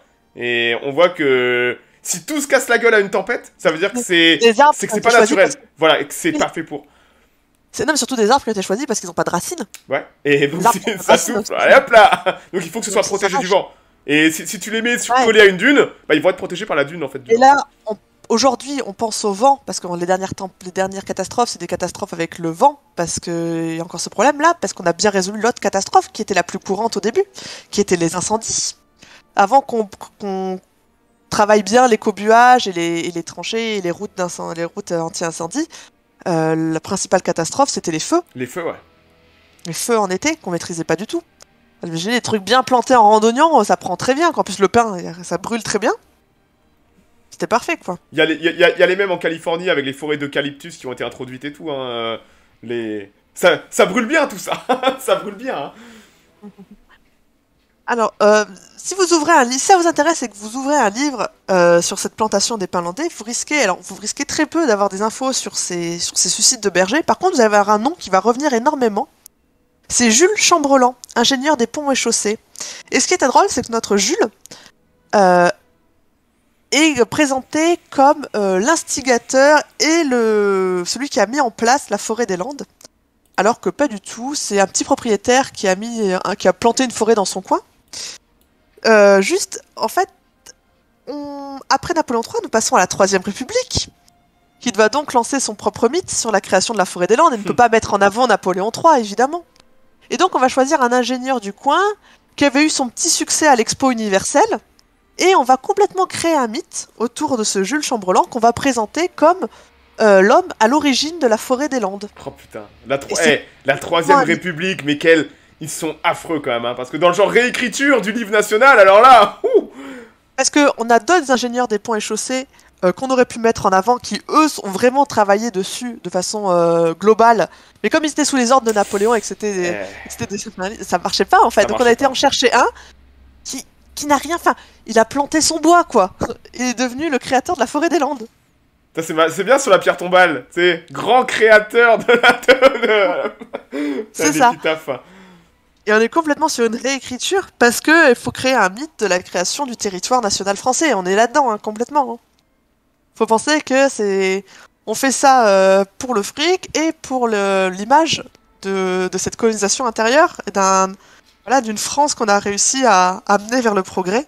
Donc si aujourd'hui on dégage toute la forêt, en, en quelques années on, on reviendrait en fait à une lande marécageuse, sans problème, euh, de, Oui. de, de- de ce qu'était le Complètement. territoire euh, de base. en avec fait. beaucoup plus de, oh, avec beaucoup plus de dégâts parce que derrière on a créé des infrastructures etc Ah ouais, qui, ouais, ah ouais, appuient exact, sur la forêt aujourd'hui. Que là aujourd'hui les- on a déjà du mal à garder nos dunes de plage qui sont soutenues par la forêt hein, si t'enlèves la forêt mais il y a plus l'érosion de la plage euh, c'est même pas la peine d'en parler. Il y a déjà une érosion énorme euh. c'est déjà une catastrophe. Alors sans le bois aujourd'hui non non ça serait une catastrophe écologique aujourd'hui de l'enlever. C'est impensable on a trop modifié l'écosystème pour revenir au point de départ On l'a terraformé complètement la zone, hein, putain. Et donc, je voulais vous présenter du coup les nouvelles traditions landaises, un petit peu qui sont euh, nées de de ce de ce, de ce boisement. Donc qui sont super récentes, de la fin, euh, fin du di- 19e, début 20e en fait.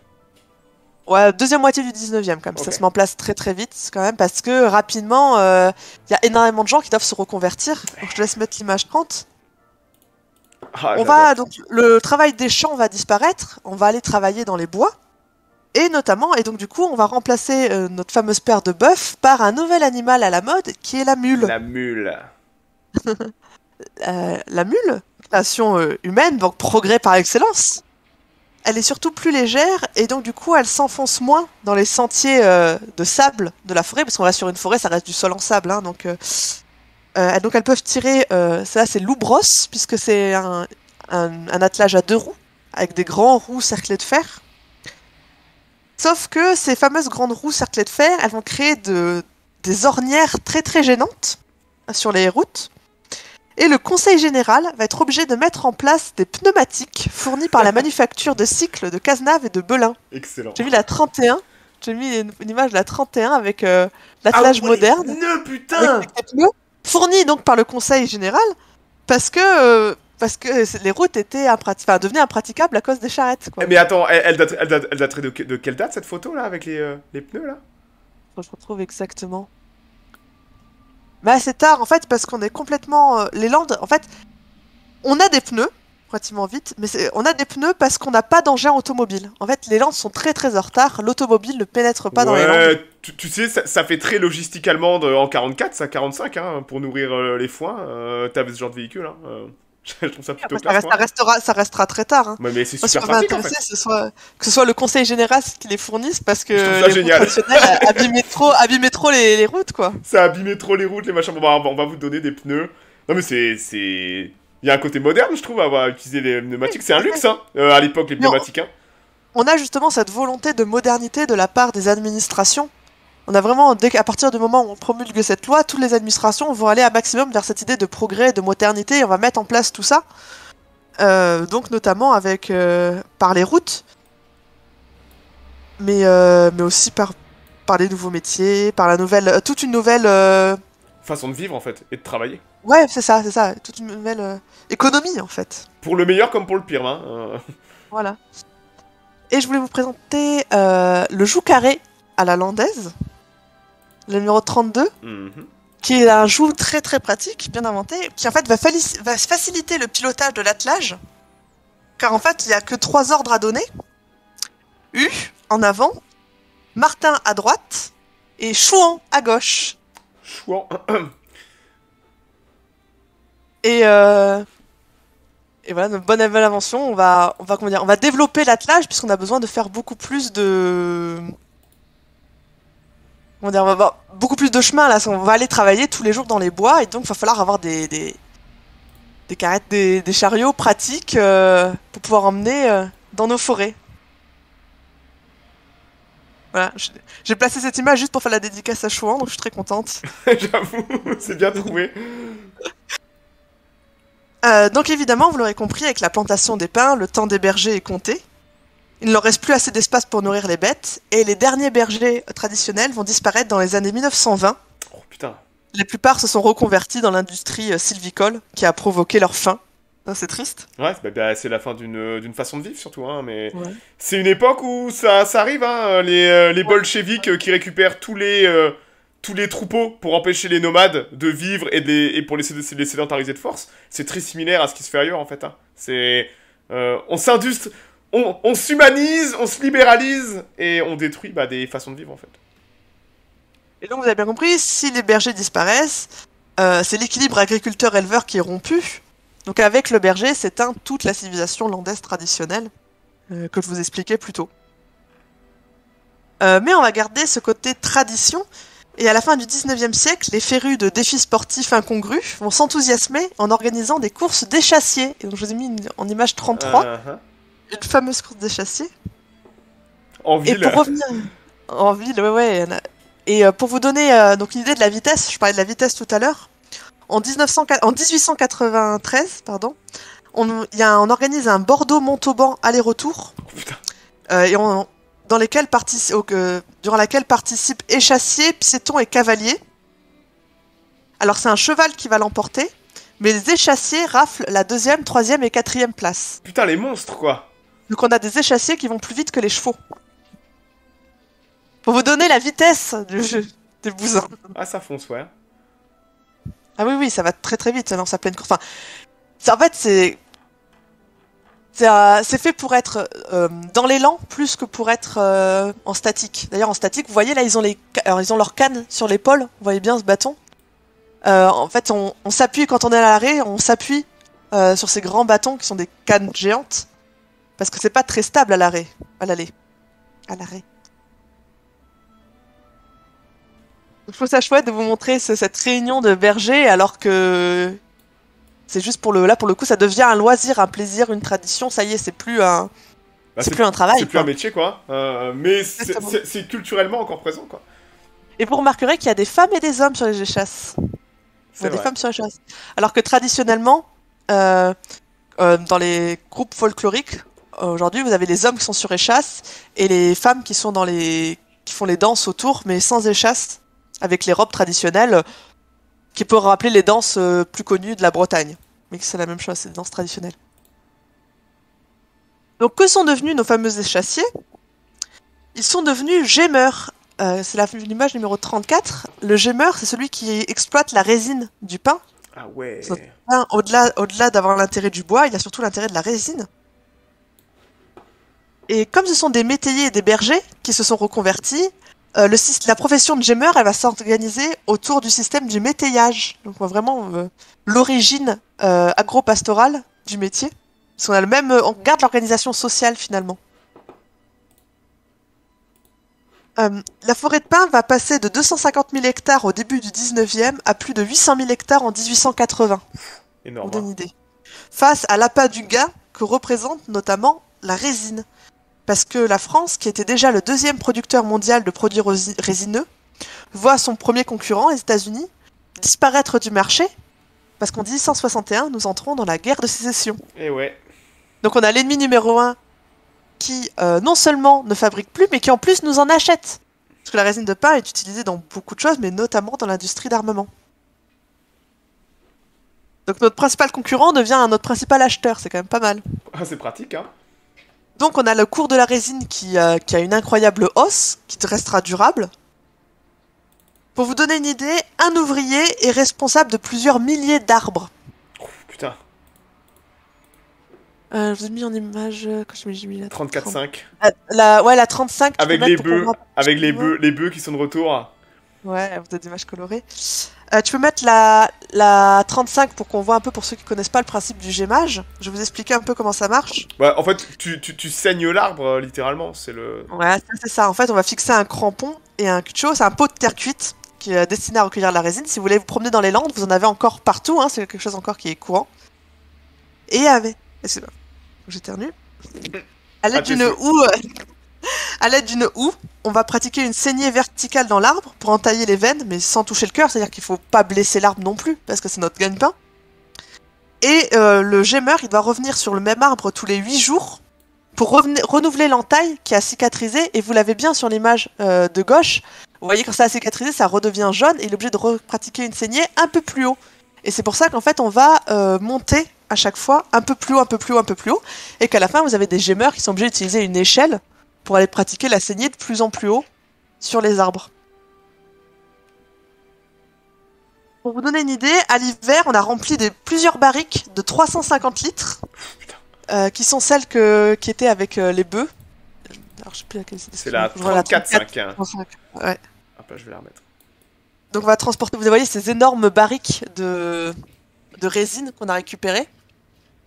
Et on va les transporter jusqu'à la distillerie. Alors euh, c'est la 35.5, faut vous en Mhm. mettre une. Alors il y a beaucoup de distilleries, alors t'en as des familiales, ou t'en as des plus importantes qui vont être plus au niveau de l'industrie. Car donc suivant, euh, voilà, il y a différentes tailles, tout le monde... a- Là c'est plutôt une familiale que vous avez. Et la résine, elle va être transformée notamment en térébenthine ou en colophane, et donc ça finit dans quasiment tout, quoi, dans les peintures, les Ouais. vernis, les parfums, les savons, les cirages, l'encaustique, la colle, les encres d'imprimerie, Les explosifs. euh, l'armement. les, ouais. les explosifs, on a besoin de térébenthine hein, dans, dans les explosifs. Donc vous imaginez bien que c'est quelque chose qui... La demande explose, et donc c'est très, une industrie qui devient très très rentable. Au final, ça, ça a changé la culture, mais ça les a enrichis potentiellement sur le, sur le, problème, le c'est- moyen terme. Y a, il y a- ça a fait rentrer Non. de l'argent quand même. Ça a fait rentrer de l'argent euh, chez quelques-uns. Enfin, ouais, ça, comme d'habitude. Le, Voilà. le- les, ouais. gens, qui sont les, achetés les terrains, oui. les gens de bien ont, ont- ont récupéré, euh, sont devenus encore plus des gens de bien, quoi. Voilà, c'est ça. Les gens de bien qui voulaient les communaux, ils sont arrachés les communaux et eux, ils avaient des, ils étaient propriétaires de la forêt et du coup, ils employaient les gémeurs qui n'étaient que des métayers, donc des, des- des ouvriers finalement de, qui étaient payés en nature euh, très très peu. Donc on reste sur des populations qui sont, qui restent pauvres en fait au final. Ouais, mais ma- Évidemment, maintenant, euh, c'est plus des bergers pauvres. Ce sont des, explo- des, des exploitants sy- sylvicoles pauvres. On ça comme ça. Putain, c'est triste. C'est ça. Euh, évidemment, je vous parle de la résine, mais euh, le, le bois lui-même reste une ressource très importante. Donc j'ai mis la 36 et la 37. Euh, pour vous donner une faible idée, euh, nous sommes au 19e siècle, donc on a besoin de poteaux de mine, de traverses de chemin de fer, de planches, de madriers, de bois de chauffage, de boulangerie, de poteaux télégraphiques, de pavés de bois. On a une demande qui est, qui est exponentielle et qui est très diversifiée dans cette seconde moitié du 19e. Euh, surtout avec le développement des chemins de fer et des bassins miniers en Europe. Donc le bois, il va être débité et acheminé grâce au développement du chemin de fer.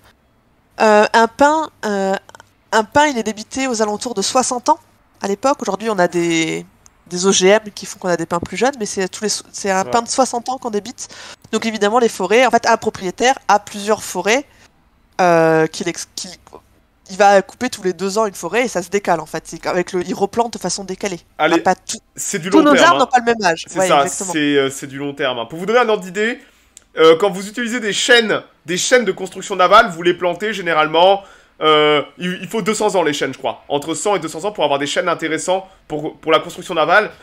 Quand, les quand Napoléon a coulé la flotte danoise, ou les, Anglais ont coulé la flotte euh, danoise en 1800 et quelques, Danois, les Danois se sont dit on va reconstruire une nouvelle flotte de guerre, on va replanter, on va voir à long terme. Et en 2008, t'as le service euh, sylvicole danois qui a, qui a passé un coup de téléphone à la marine de guerre danoise pour leur dire que les, que les chaînes étaient prêtes. de con. Et, euh. Bon, là, on est quand même à, à plus court terme, parce Ouais, y c'est beaucoup c'est est que, c'est que 60 ans.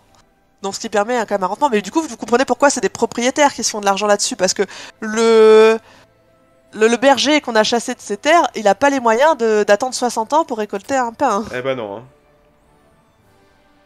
Euh.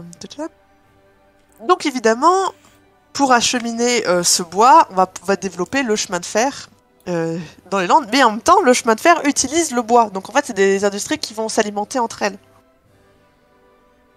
Euh, je vais vous parler vite fait quand même parce qu'on oublie beaucoup, mais euh, ok, il y a beaucoup de pain dans les Landes, mais il y a quand même une deuxième sylviculture très importante, c'est l'image 38 Mhm. c'est, euh, c'est, on a quand même plusieurs milliers d'hectares à la fin du 19e de chêne liège pour l'industrie bouchonnière. Ah ouais, bah en plus, il y a- il y, il y Bordeaux à côté.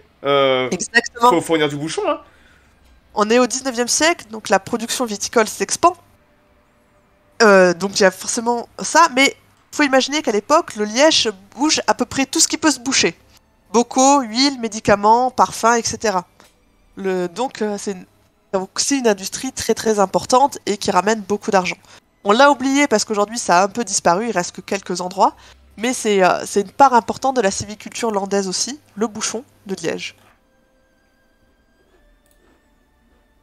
Et donc pour finir, je voulais vous parler, vous avez bien compris, euh, des infrastructures de transport, parce que quand je vous l'ai dit, c'est bien beau d'abattre des arbres, mais qu'est-ce qu'on en fait derrière?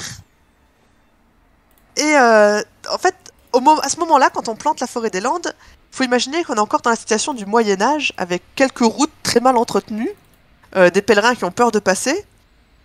Sauf que le terrain, il rend la construction très difficile. Oui. C'est un terrain qui est sablonneux, c'est de la merde Il pour a- construire.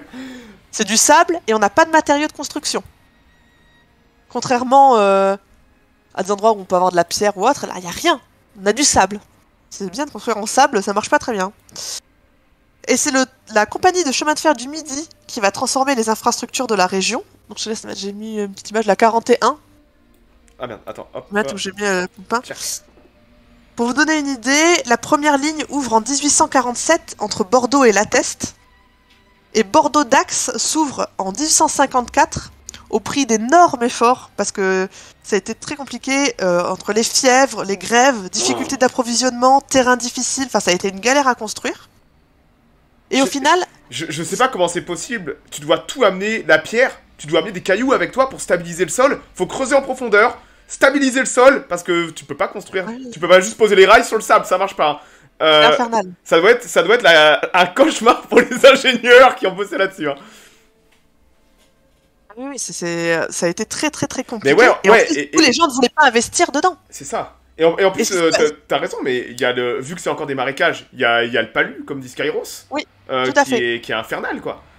Les dernières épidémies de paludisme sont très très tard par rapport au reste de la France et même de l'Europe, parce qu'il faut assainir tout ça. Ouais. Et ça, fait, ça faisait partie des, des raisons euh, qui, ont- qui sont mis en avant aujourd'hui pour l'assainissement des pins, alors qu'en fait, c'était pas, là on l'a vu aujourd'hui, c'était pas du tout l'objectif principal. Hein. Ils s'en foutaient un peu en fait. hein.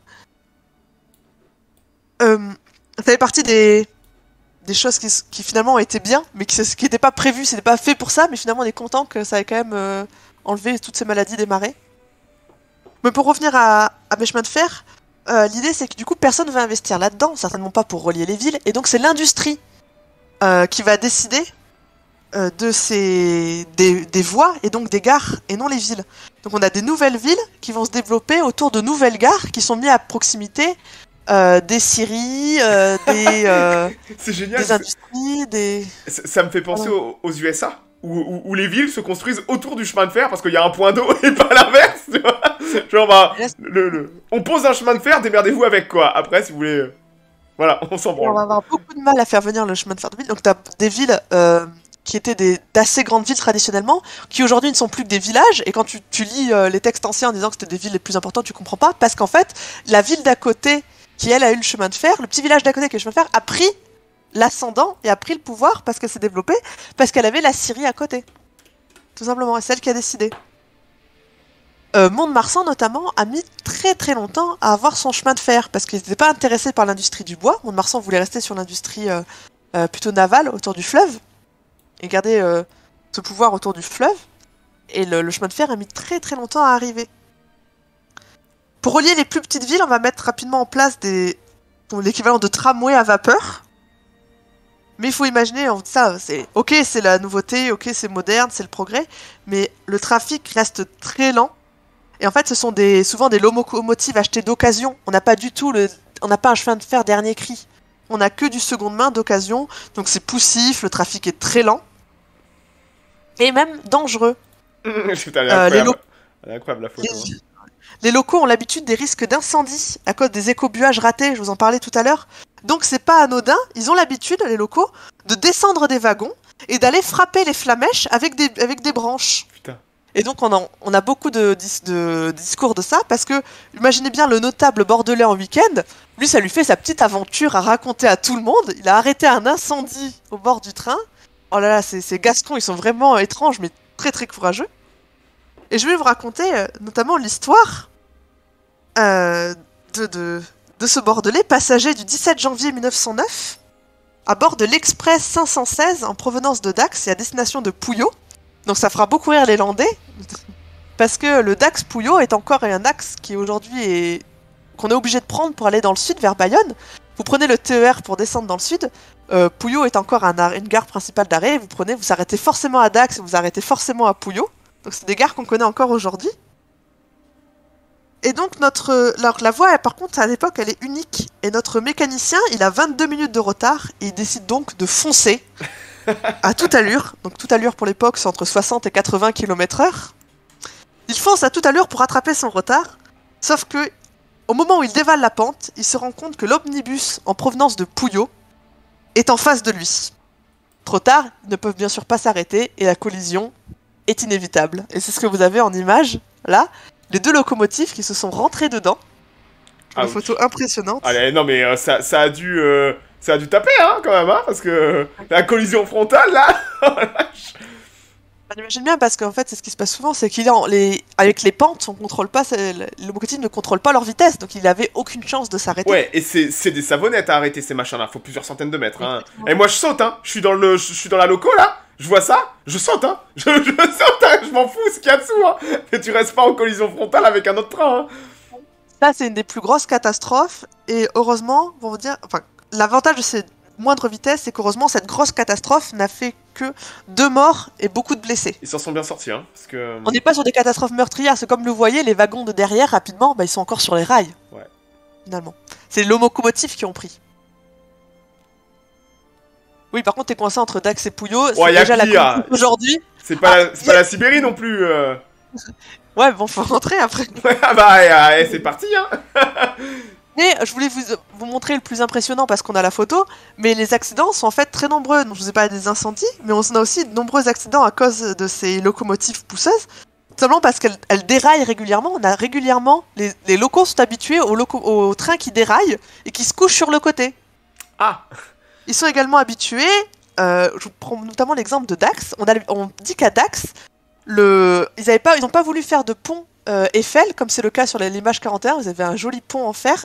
À Dax, ils ont voulu qu'on utilise le vieux pont en pierre, et la locomotive n'était pas assez puissante, donc si elle prenait pas assez d'élan, régulièrement, sur le pont, elle repartait en marche arrière. Putain, oh, c'est ballot ça, tiens. Voilà, je me suis dit, c'est petit, voilà, euh, c'est bien d'avoir le progrès, mais quand on n'y met pas les moyens, ça donne des, choses assez cocasses. C'est quand même incroyable. Je, connaissais pas du tout, en fait. Hein. Euh, assez incroyable de voir à quel point en, en trois générations, on peut totalement terraformer une zone euh, ah. et tout transformer. Et, pas que juste transformer, c'est l'économie, la culture et, tout changer, en fait.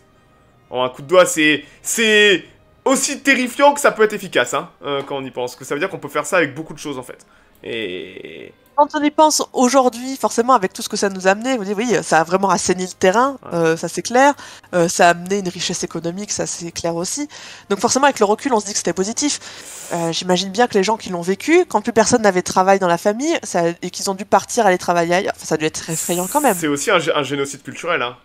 quand, quand tu le vois de cette façon, c'est tu, tu, tu détruis une culture, une façon de vivre pour des intérêts, euh, pour des intérêts financiers. Parce que c'est cynique quand je dis des gens de bien. Hein euh, on est là pour faire du fric. On est là pour, euh, pour faire de la flouze en se drapant du, du, grand drap, du, du, cheveu, du drap blanc de l'humanisme. Hein. Ces gens-là étaient très cyniques. Hein. Et, et, ils ont été efficaces. Hein. Ça, a été ressenti par la population parce que pour qu'on garde hein. autant, pour qu'on garde autant des traditions qui n'ont plus de sens. Enfin, aujourd'hui, enfin, vous vivez dans les Landes, vous avez forcément vu des échassiers. Enfin, moi, les échassiers ils venaient faire des chorégraphies à l'école euh, pour la kermesse de l'école. Hein. savoir quelque chose de très très euh, présent culturellement, alors que ça n'a pas de sens. Donc pour que ce soit resté aussi fortement, c'est que les gens ont senti un besoin de le sauvegarder. Ça a dû être quelque chose de très violent quand même, je pense. Mais c'est l'époque en France, hein, euh, moi, mes, euh, mes arrière-grands-parents, on les attachait au radiateur parce qu'ils avaient parlé breton à l'école, quoi. Hein. Euh, c'est ces générations-là. C'est ces générations-là où on a, voilà, c'est où on a attaqué toutes les, les, identités régionales. Et là, le fait de, de détruire, là, on parle d'économie, mais il y a aussi une volonté de détruire la culture et de l'identité régionale. Donc c'est ce qui se fait en France à l'époque, c'est qu'on centralise, on centralise la France, c'est la culture française et Là, ça commence très tôt, mais la, Troisième République, il y a une volonté de d'identité française qui est très mal vécue dans les régions parce que bah, c'est Paris qui impose la, par la force euh, euh, cette identité française qui n'existe pas. Hein. C'est une création, je trouve. Hein, mais, euh, Là, on, je vous ai pas parlé, ouais, je vous ai pas évidemment parlé de la langue cette fois-ci, peut-être parce qu'elle est moins ressentie violemment ici, parce que nos voisins, c'est quand même le Pays Basque. Eux qui l'ont ressenti pour le coup très très violemment. bien sûr, hein, tout, tout, c'est comme en Bretagne, hein, toutes les. La répression a été très violente parce qu'elle était connue, alors qu'ici, en fait, les gens ont parlé gascon entre eux.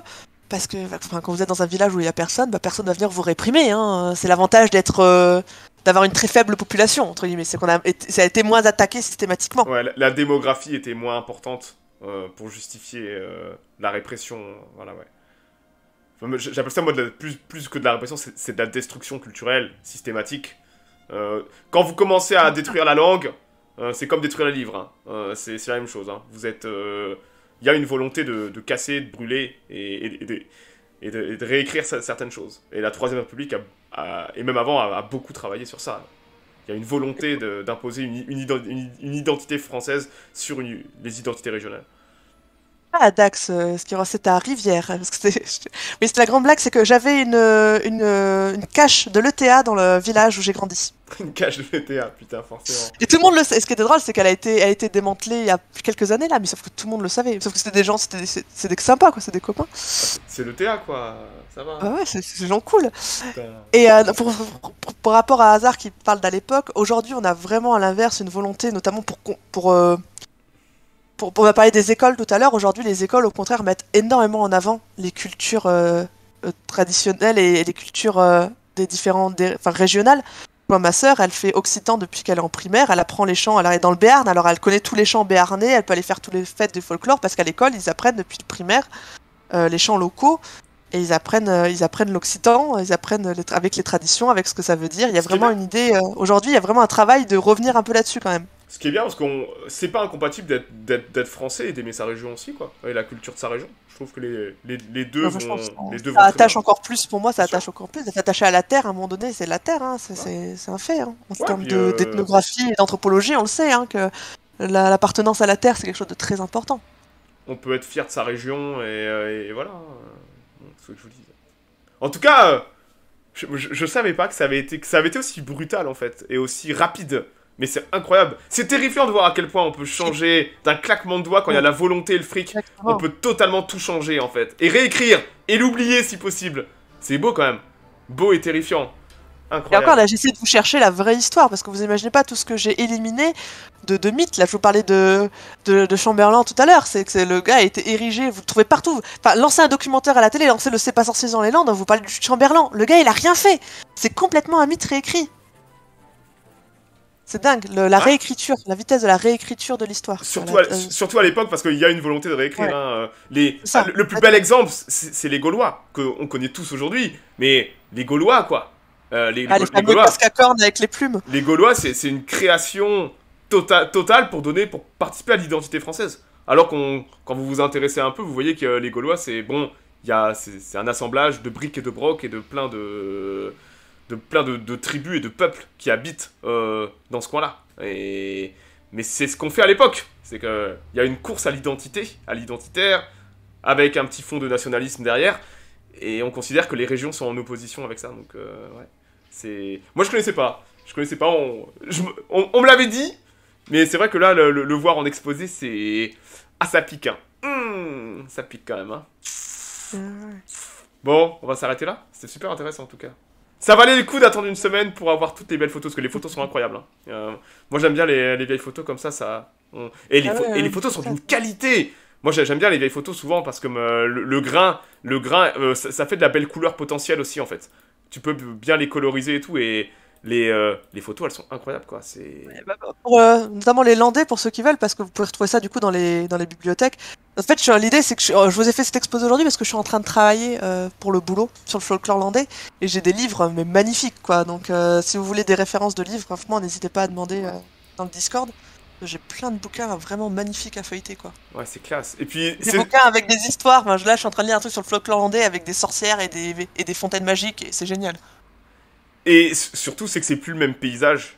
Genre, c'est ça le truc. C'est que le, le paysage qui était qu'on voit sur les photos, le fait de l'avoir en photo, c'est encore plus brutal. Encore, Parce qu'on se dit, putain, mais là, là. on a déjà changé un peu puisqu'on a l'apparition de la photo. Donc là, là, on est déjà, un peu modifié. Hein. C'est Ouais. déjà plus suivi que voit. euh, On est sur du 1850, 60 peut-être, vu que sur Ça, les, ouais, sur les. C'est quoi son pseudo Discord? Bah, tu vas sur Discord, foire au livre et c'est Kadruka, je crois. Comme. euh, Ouais.